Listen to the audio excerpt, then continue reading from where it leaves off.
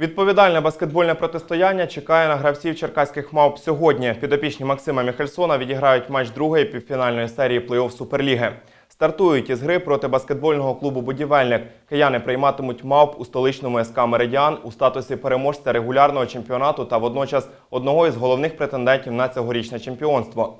Стартові два матчі серії, яка триватиме до трьох перемог, клуби проведуть у Києві 10 та 12 квітня.